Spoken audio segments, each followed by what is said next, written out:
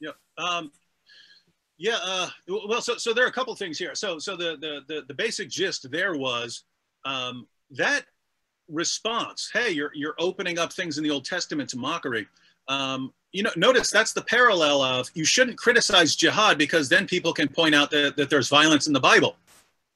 Well, there are lots of differences between violence in Islam and violence in the Bible, right? Huge differences. Namely, you eventually get to the final marching orders, and the final marching orders of Christianity are different from the final marching orders of Islam. So the takeaway message is very different about violence, right? You can find violence in it. You can find violence in almost any history book. We're not talking about finding violence in the book. We're talking about certain specific things about the kinds of violence that aren't similar between the Bible and the Quran. Um, so it, that's a that's a strange objection, but th- there seems to be a parallel to that of you know don't don't mock that claim about Muhammad because then they might mock mock your claim about uh, about the Bible. But but yeah, you, you guys are you guys are right that um, either either you think that there's no better reason to believe the Bible than there is to believe the, the Muslim sources, in which case I have no idea why you would invite a Muslim to Christianity if you don't think the case is, is any better or it's, it's any more true. Um, so you either think that that they're they're on the same level in terms of in terms of flaws, weaknesses, and so on, or you believe that the Bible is superior, in which case mock away. Go ahead, mock away. But suppose you read the Old Testament and you're confused about all of these passages. Well, do you have good reasons to still believe that it's the word of God, even if you're confused, even if you couldn't find any justification for these passages? Yeah, you've got Jesus rising from the dead.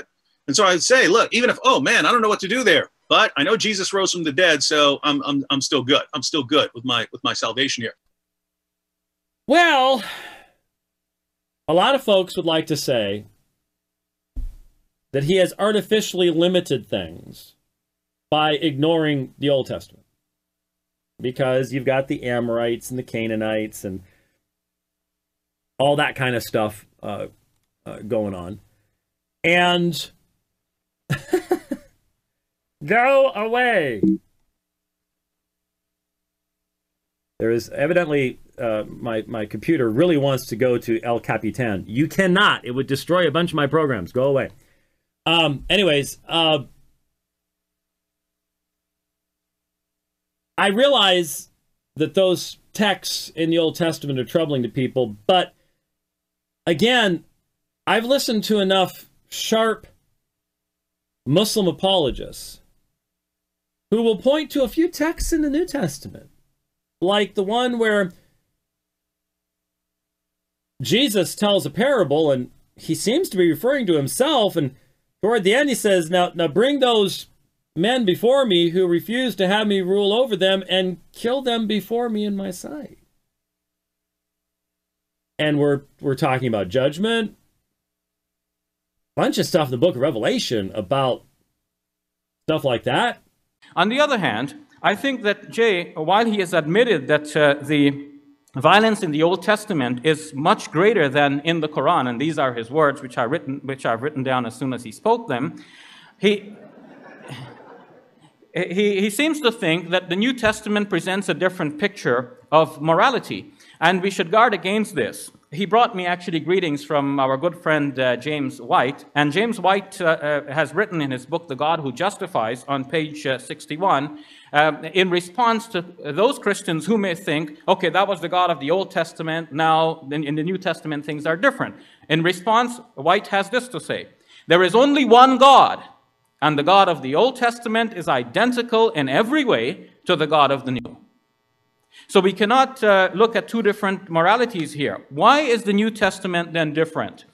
Uh, in his article on jihad in the Blackwell Companion to the Quran, the Jewish writer uh, Reuven Firestone explains uh, the situation in which the, both the Talmud and the New Testament was, was, were written. Here we're talking about the context. Now, the context here was different.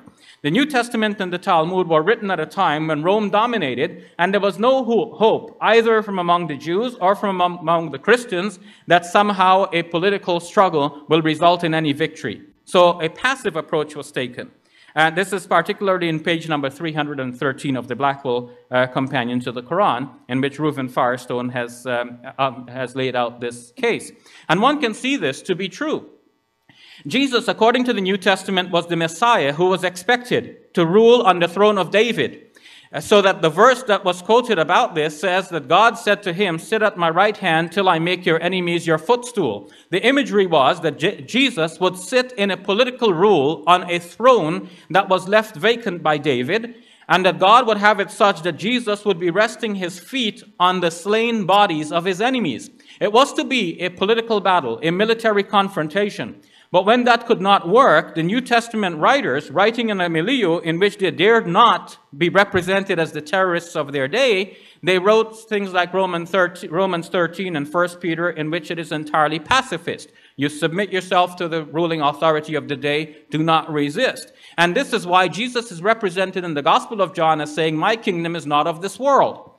So this is a later rewriting. John, the last of the four gospels, now takes the messiahship and gives it a different meaning. It's not anymore about sitting on the throne of David in this life, at least not in the first coming, but when he comes back, the book of Revelation tells us, what, tells us what he will do. He will have a major confrontation with his enemy. His tongue itself will be of a sword, and he will slay everyone except the false prophet and, uh, and the Antichrist who will be thrown into the fire.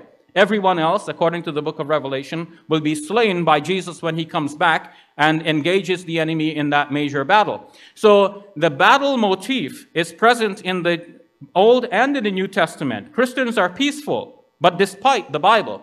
And some Muslims are violent, but despite the teachings of the Quran. Thank you.